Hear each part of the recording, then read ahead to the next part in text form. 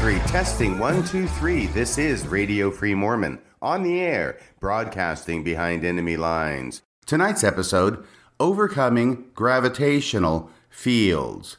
But before we get to tonight's podcast, we have some late news rolling in.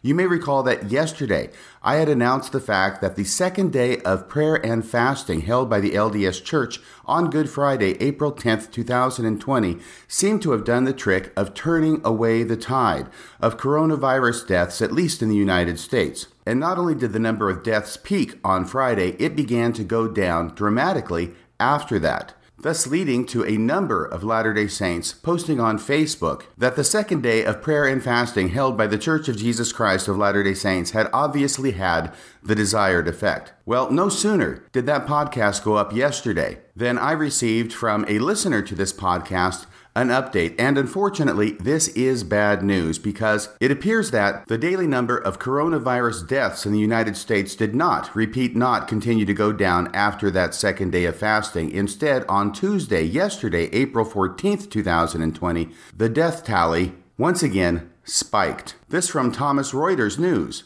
In an article dated Tuesday, April 14th, entitled U.S. Coronavirus Deaths Set Single Day Record Increase we have the following U.S. coronavirus deaths rose by at least 2,228 on Tuesday, a single day record, according to a Reuters tally. The article goes on the previous single day record was 2,069 set last Friday. That would have been Friday, April 10th, Good Friday, the second day of fasting and prayer in the LDS Church. So it appears that unfortunately the celebration regarding the effectiveness and the miraculousness of the second day of prayer and fasting and turning away the coronavirus may have been slightly premature. We will wait to see if a third day of fasting and prayer is called for by President Russell M. Nelson. I will keep you apprised as to any developments. But now on to tonight's podcast, which is titled once again Overcoming Gravitational Fields. Now, that's a strange title for a podcast, and let me tell you where it is that I came up with that title. It was a number of months ago. I was listening to Mormon Stories, and John Dehlin was interviewing somebody. I'm sorry, I cannot remember who it was who was being interviewed. But toward the end of that interview, John Dehlin asked this person what they think the purpose of life is. And I remember hearing that question and the thought suddenly coming to my mind as to what the purpose of life is. And the thought that came to my mind regarding what the purpose of life is was those three words.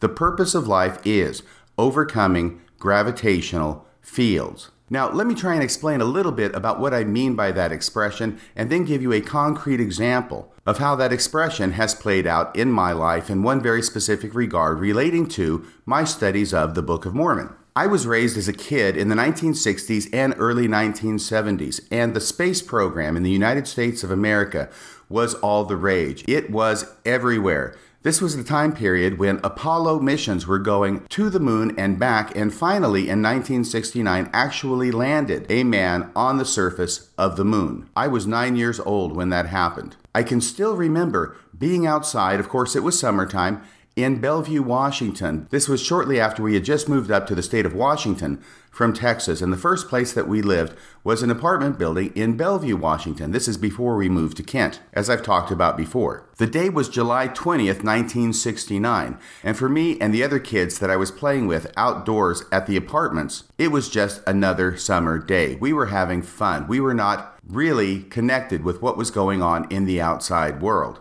But I remember I was playing with around 10 other kids. We were out in the parking lot, and some lady who I did not know came out onto her balcony and she leaned over the balcony and she yelled at us, Hey kids, you need to get up here right now. Well, we had no idea what she was talking about. But this lady, out of the goodness of her heart and a sense of the historic, which we did not have as kids, called all of us kids, and there were about seven of us, who went upstairs to her apartment and she sat us down in her living room so that we could watch on her TV Neil Armstrong take his first steps on the surface of the moon. Now, as you know, it's not an easy thing to get to the surface of the moon. In fact, this is something that John F. Kennedy had announced in the early 1960s that the goal of the United States was that by the end of the decade, by the end of the 1960s, we would have a man walk on the surface of the moon. And indeed, that is exactly what happened. One of the most difficult things you have to do in order to get to the moon is you have to first overcome the gravitational field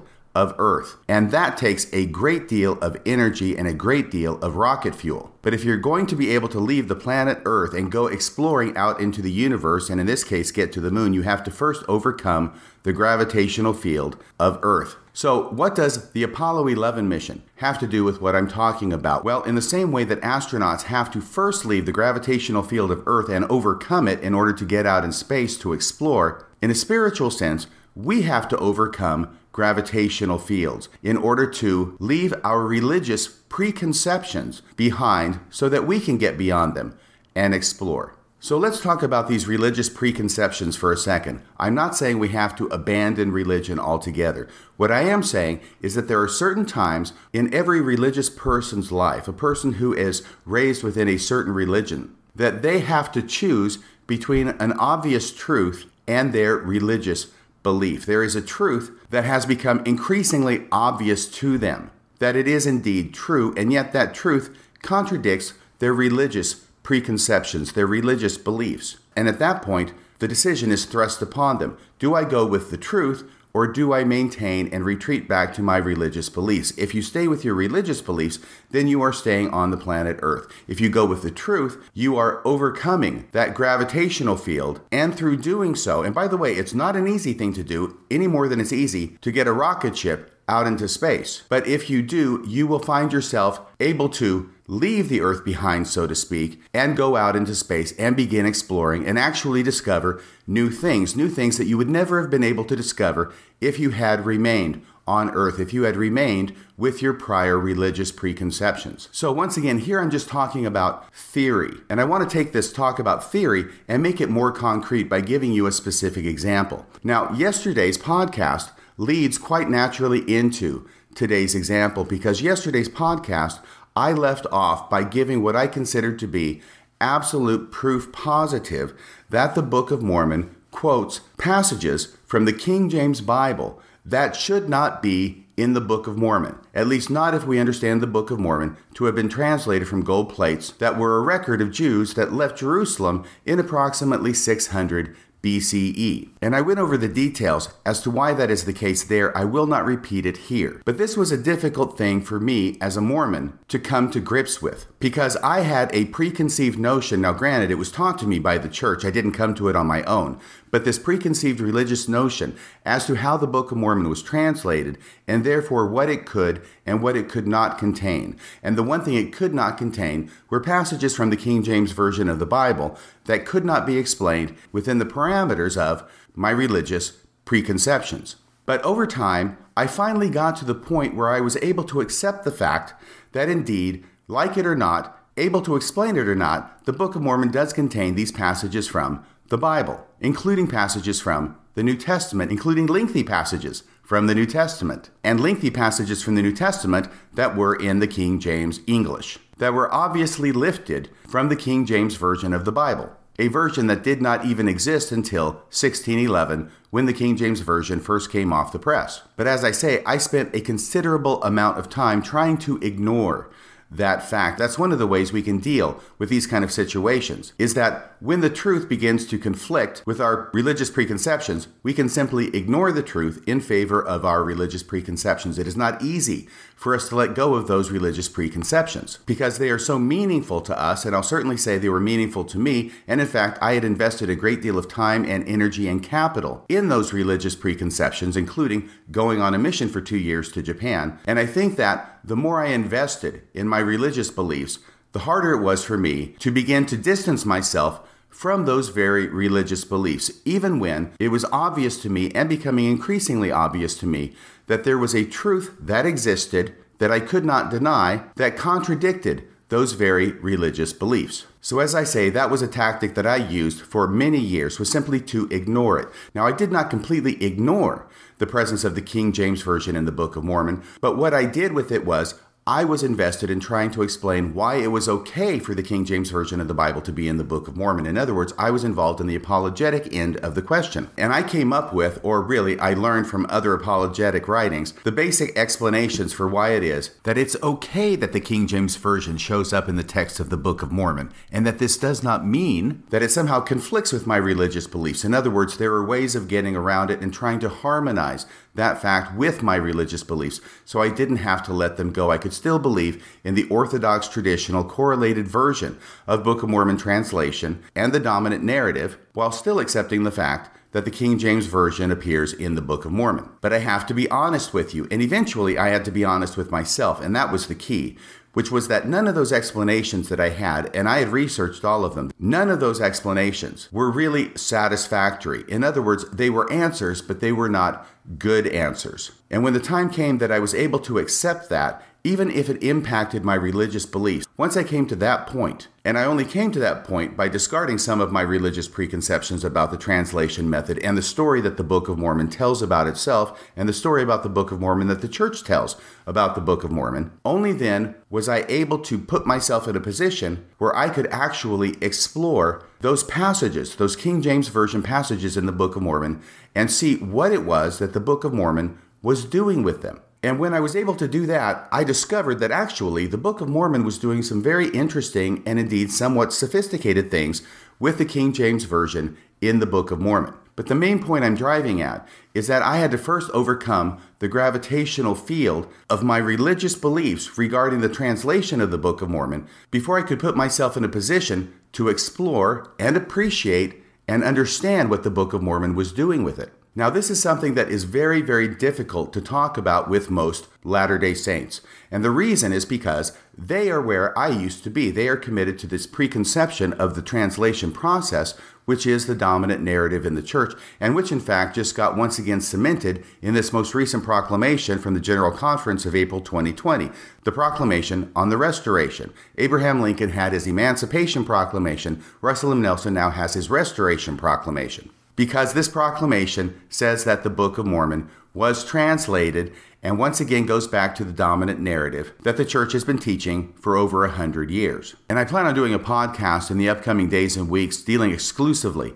with the new proclamation. But getting back to my subject, a number of years ago, I looked specifically at the Sermon on the Mount in 3rd Nephi, i.e., the Sermon on the Mount from Matthew 5 through 7, which ends up appearing in the Book of Mormon and it is obvious that this was lifted from the King James Version of the Bible. And when I looked at what happens in the Book of Mormon immediately before the Sermon on the Mount, which is reproduced there, and especially immediately after in the following chapters, I began to see that really what's going on here is that the Sermon on the Mount is not just filler that's thrown in to take up space. Instead, the Book of Mormon is actually doing something very interesting with the Sermon on the Mount as it's reproduced in the Book of Mormon. And I wrote a three part article on this subject a number of years ago. And I want to share with you that three part article at this point. And the reason I'm sharing it with you is not only because I think it's fascinating in its own right, and I hope you'll agree with me, but also to give it as a concrete example of what can happen when we allow ourselves to overcome gravitational fields. And I say allow ourselves to overcome gravitational fields. That makes it sound kind of passive. It really is a very active thing, just like using all the jet fuel to get off the ground and into space. It is not an easy thing for us to do. And perhaps it's intended not to be easy, but the results are worth it.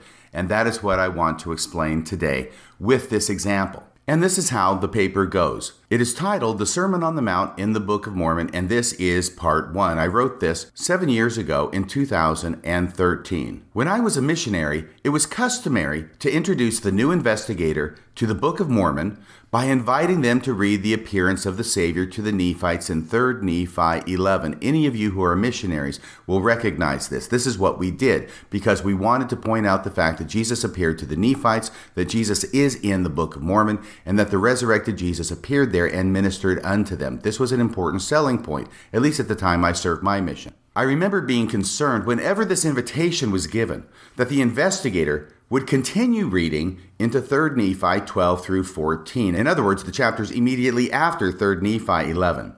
And I was concerned that they would keep reading those chapters because they would realize that the Savior teaches the Nephites essentially the Sermon on the Mount from the King James Version of Matthew 5 through 7. Well, why was I concerned about that? Because I knew that if the investigator started asking questions about this, I would not have a satisfactory answer.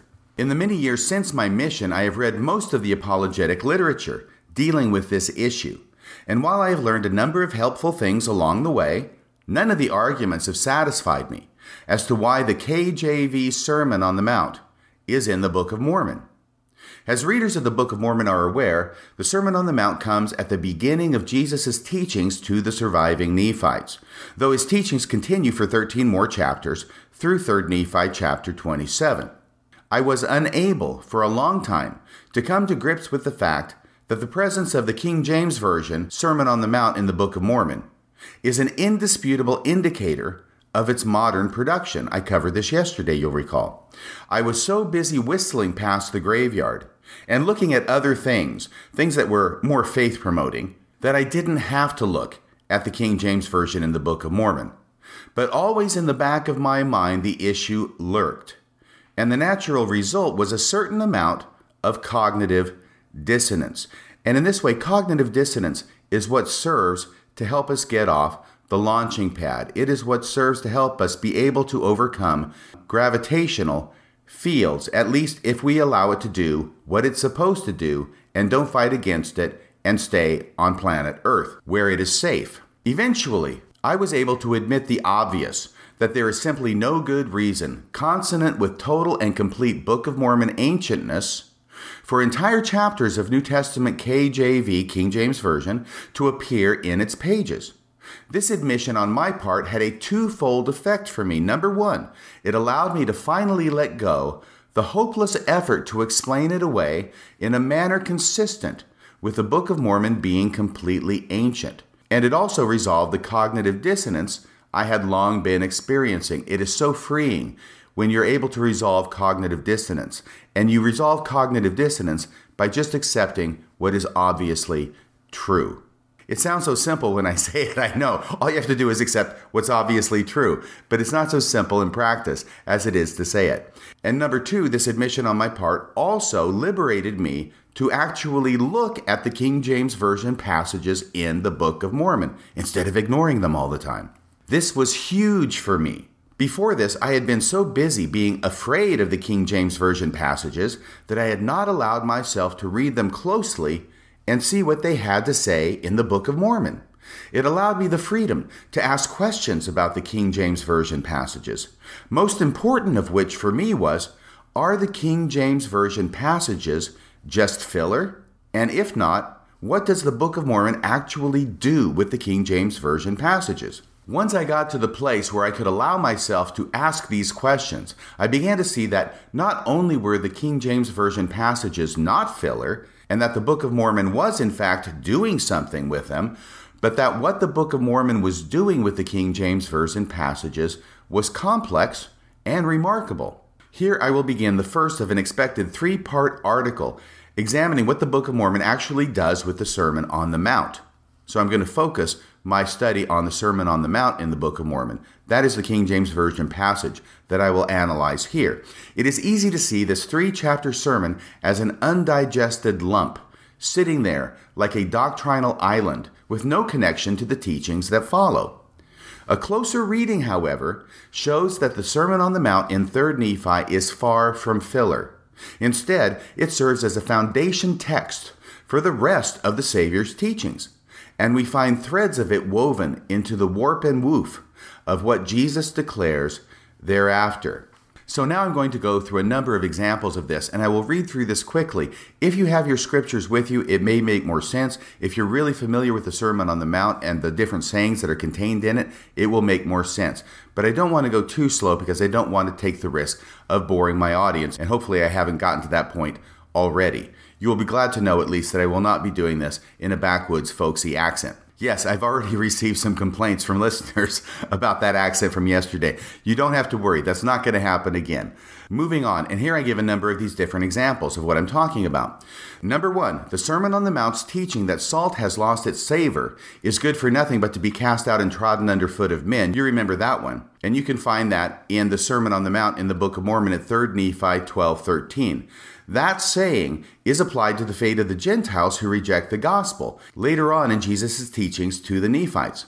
I will suffer my people, O house of Israel, that they shall go through among them, and shall tread them down, and they shall be a salt that hath lost its savor, which is thenceforth good for nothing but to be cast out and to be trodden under foot of my people, O house of Israel. That's in 3 Nephi 16 15. So once again, these are examples of how sayings in the Sermon on the Mount that is quoted in 3 Nephi 12 through 14 end up reappearing and being given new life, new meaning, and being interwoven into the text of what Jesus has to preach to them after quoting the Sermon on the Mount. Going on, number two, the Sermon on the Mount's teaching that I give unto you to be a light of this people, that's 3 Nephi 12 14, is applied by Jesus later to his Nephite disciples, Ye are my disciples, and ye are a light unto this people who are a remnant of the house of Joseph. That's 3 Nephi 15 12. By the way, I'm not going to say 3 Nephi every time I do these references. I want to do them quickly. All of them are from 3 Nephi, unless I tell you otherwise. Number three, the Sermon on the Mount's admonition to let your light so shine before this people, that's from 1216, becomes Jesus' Nephite teaching to hold up your light that it may shine unto the world.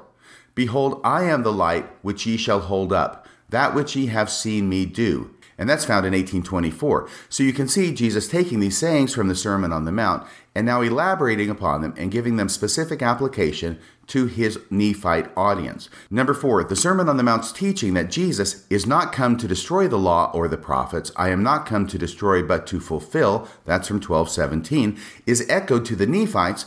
Behold, I do not destroy the prophets, for as many as have not been fulfilled in me, Verily I say unto you, shall all be fulfilled. And that's in 15:6.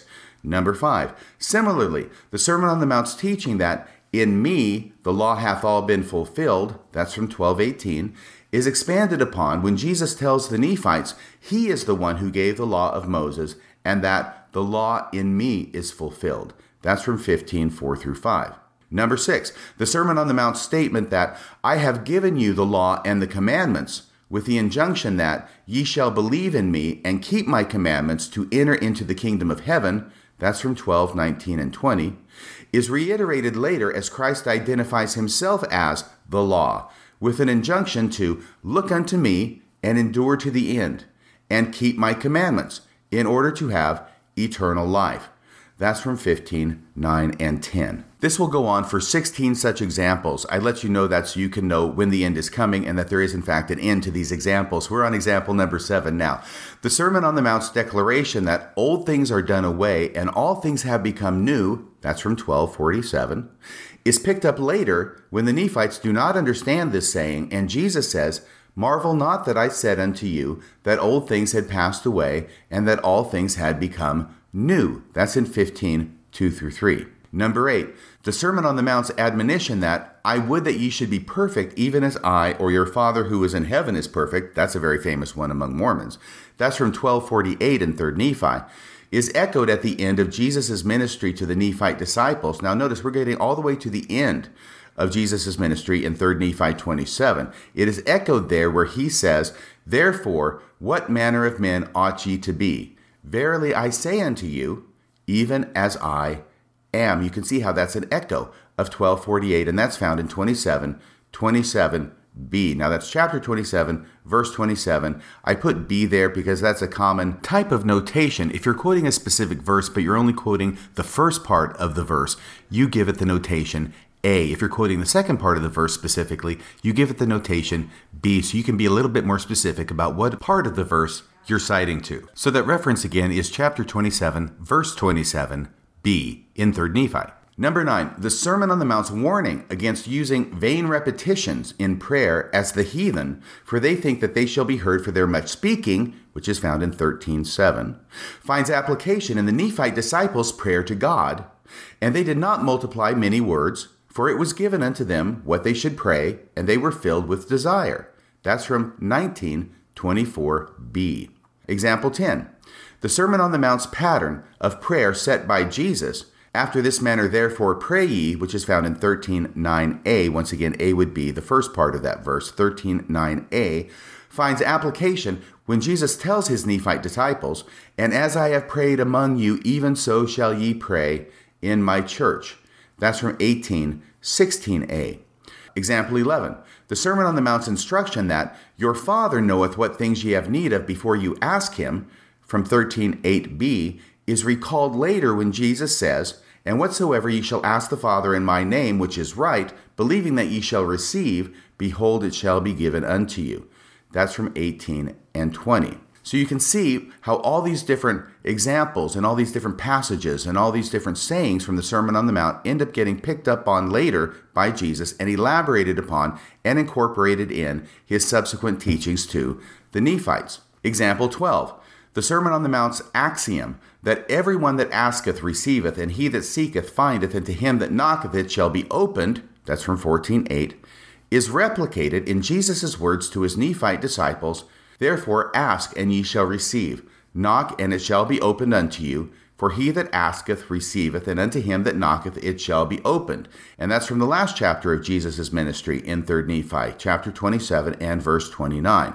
The reason I keep focusing on things that are in the last chapters is because the further it gets away from the Sermon on the Mount as it's quoted in 3rd Nephi, the more impressive I find it that these motifs are still being picked up and incorporated into the text. A number of them occur in the chapters immediately after the Sermon on the Mount is quoted. Once again, the Sermon on the Mount is quoted in 3rd Nephi 12 through 14, and a number of examples come from chapters 15 and 16, which are the chapters right after the Sermon on the Mount is quoted. It seems to me it would be much more likely that the Sermon on the Mount would be incorporated in the chapters immediately following the Sermon on the Mount in 3rd Nephi. But what we see is that those same references and those same echoes and those same incorporations and elaborations of the Sermon on the Mount continue not just in those chapters immediately after it's quoted, but all the way to the end of Jesus' teachings to the Nephites, as far out as chapter 27, which again is the last chapter in which we have his teachings to the Nephites before he leaves them. Example 13, the Sermon on the Mount's injunction to enter ye in at the strait gate, for wide is the gate and broad is the way which leadeth to destruction,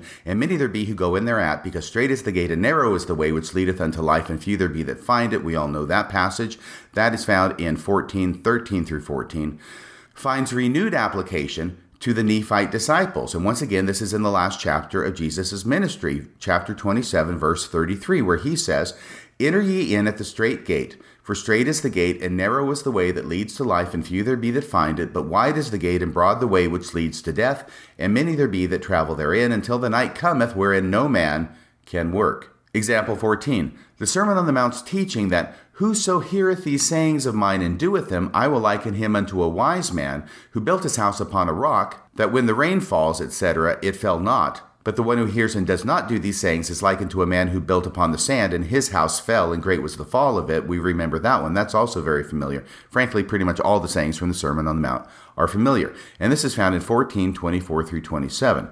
Will be repeated and amplified to the Nephites where he tells them later, And if ye shall always do these things, blessed are ye, for ye are built upon my rock. But whoso among you shall do more or less than these are not built upon my rock, but are built upon a sandy foundation. And when the rains descend, and the floods come, and the winds blow, and beat upon them, they shall fall, and the gates of hell are ready open to receive them. That's from 18, 12b to 13. Example 15. We're almost to the end now. Please stay with me. Example number 15. This same teaching in the Sermon on the Mount, the one about the house built on the rock and the house built on the sand, is found in the mouth of Jesus again shortly before he gives the Sermon on the Mount. Now, this is interesting because all these other examples are being given after Jesus gives the Sermon on the Mount. But we can actually find a few examples of references to sayings in the Sermon on the Mount before Jesus gives the Sermon on the Mount to the Nephites. And this is an example of this. This same teaching in the Sermon on the Mount is found in the mouth of Jesus shortly before he gives the Sermon on the Mount, where he says, and this is from 1140. So this is before the Sermon on the Mount. This is 1140 in 3rd Nephi, where he says, And whoso shall declare more or less than this, and establish it for my doctrine, the same cometh of evil, and is not built upon my rock. You see the echo of that? Actually, it's a pre echo. It is foreshadowing But he buildeth upon a sandy foundation, and the gates of hell stand open to receive such when the floods come and the winds beat upon them. It is obvious that there is a reference being made there to the Sermon on the Mount, which Jesus has yet to give within the framework of the Book of Mormon narrative. Example 16, this is the last one. The Sermon on the Mount's string of Beatitudes, blessed are ye statements, in 12, 1 through 11, is bookended with a beatitude promised by Jesus to his disciples if they will follow his gospel. And I say it's bookended because the Beatitudes come at the beginning of the Sermon on the Mount, and we hear the bookend at the end of his teachings to his disciples, once again in chapter 27, where he says, Therefore, if ye do these things, blessed are ye, for ye shall be lifted up at the last day. And that's in 27 and verse 22. Okay, so the point of all this, I hope the point is clear, and I hope that I haven't been beating a dead horse. But it's very important to list out all these different examples so you can see that what I'm talking about really is present in the text of the Book of Mormon. It really is there. The Book of Mormon really is doing some interesting things with the Sermon on the Mount. It is not just filler, and that the only reason I was able to see this and make this examination and make this presentation out to you is because I was finally able to overcome the gravitational field of my religious beliefs regarding the Book of Mormon translation, which freed me up to make this study and this research and this analysis in the first place. It is only through overcoming those gravitational fields that I was able to launch myself into a position where I could explore and learn new things, things that I could never have learned if I had not overcome those gravitational fields in the first place. Back to the article. Though not intended to be exhaustive, I'm sure you're thankful for that. This list of 16 entries indicates that the Sermon on the Mount given in 3 Nephi 12 through 14 is not just filler, but literally and literarily permeates the balance of the Savior's teachings to the Nephites. Further, the Sermon on the Mount teachings are not simply reiterated, but are often amplified and clarified in subsequent Nephite exposition. For example, the Sermon on the Mount injunction to let your light so shine, 1216, is expanded upon to the effect that the light is Jesus himself, 1824. The Sermon on the Mount's teaching that in Jesus is the law fulfilled, 12:18 is not just quoted later, but additional information given that Jesus is the one who gave the law to Moses in the first place. 15:4 through 5. The warning against vain repetitions in prayer, 13:7, is amplified by showing that the Nephites avoided this because it was given unto them what they should pray. 19:24b. Keeping track of the Sermon on the Mount threads during the balance of the Savior's Nephite ministry and using them in context and with additional elaboration is no mean feat. It introduces an unexpected complexity and beauty into this section of the Book of Mormon. But this isn't all. The next two articles will be devoted to showing additional layers of complexity in this narrative, a complexity that, like layer after layer of varnish, makes the resulting composition shine. I had planned on going forward and actually going over those additional two articles dealing with other additional complexities and how the Book of Mormon uses the King James Version within its text, but I think I've probably gone over enough at this point. I don't want to overload the circuitry because I have been talking about a lot of complexity and a lot of interrelationships and intertextuality, which is the new $5 word for this intertextuality between the Book of Mormon and the Bible.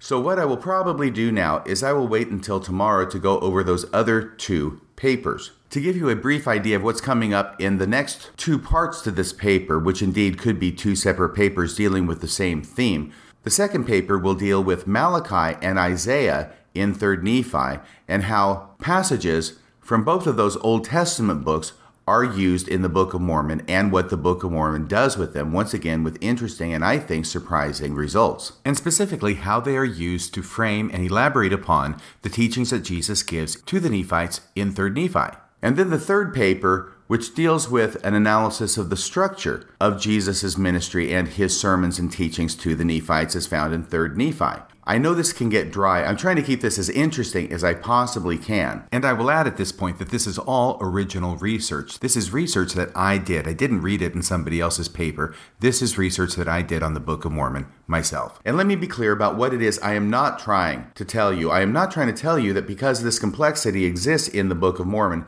that it somehow does away and makes it okay that the Book of Mormon is borrowing hugely from the King James Version of the Bible. No, it doesn't make it okay. It doesn't explain why that happens. It's not an answer to that question. It is not an apologetic response. Indeed, the only reason I can get to this point is because I have transcended the apologetics, which tries to make this sort of thing fit within the dominant narrative of the church and the traditional understanding of how Joseph Smith translated the Book of Mormon. I was only able to get to this point by leaving apologetics behind. Now, I learned many, many important things through my years in Mormon apologetics. But at some point, it came to me that being engaged in Mormon apologetics was like manning a fort. And we're manning a fort, we're all inside the fort, and the enemies are outside the fort. And so, what we have to do is we have to make sure that the walls are firm and in place. We have to build them high. We have to build watchtowers upon the walls. And there's a moat, and we have to dig a moat out front, and we have to put spikes outside the moat. In other words, we have to defend this position. We have to defend the church. That is the role and the job of apologetics. And we have to build that defensive position so strong and so completely that nobody can get in. But as I say, it was only sometime after this that I realized that at the same time I'm building this fort and making those walls high and strong, that at the same time I'm keeping enemies out of the fort, I'm also locking myself inside the fort and that it was only by leaving this fort, this fort that I had made with the help of many others, but this fort that I had made and this fort that I had constructed out of Mormon apologetic tinker toys, it was only after getting out of this fort that I was able to roam around in the woods and the mountains and the fields and the rivers and the oceans and be able to see there's a great big, wonderful, fascinating, beautiful world out there. And it is a world that I never could see while I was locking myself inside the fort, and indeed, it was a world that I never would have been able to see if I had remained locking myself inside the fort. So, am I saying that the way that the Book of Mormon uses the King James Version means that the dominant narrative is true? No, what I'm saying is that only by transcending the dominant narrative was I able to make these discoveries in the first place. Am I saying that the Book of Mormon is true or inspired or God given or that it was translated by the gift and power of God and that this proves it? No, I'm not saying that. Am I saying that this proves that Joseph Smith was a prophet of God? A lot of times when I'm talking about this, that's what people think I'm trying to prove, but it's not. It's completely different from that. All of that stuff about proving that the Book of Mormon is the Word of God, or proving that Joseph Smith was a prophet of God, or proving that the LDS Church is the one and only true church upon the face of the earth, all of that stuff I left behind in the fort. I'm out of the fort now. This is a completely different subject. And what I'm saying is that I can leave all that behind, and that only by leaving all that behind am I freed up to look at the Book of Mormon and see what it does with the King James Version, as I've been talking about today, and as I'll be talking about tomorrow. And this is the concrete example of what can happen when we overcome gravitational fields by accepting what is obviously true, even when it conflicts with our preconceived religious beliefs. If we stick with our preconceived religious beliefs, and many people do, and I did for many years, we lock ourselves away in the fort, we submit to the gravitational field of our religion. And it is only by overcoming those gravitational fields that we can progress. And I will use that term, and I think I use it advisedly, that we can progress to learning more things. That's about all for tonight. Until next time, this is Radio Free Mormon, signing off the air.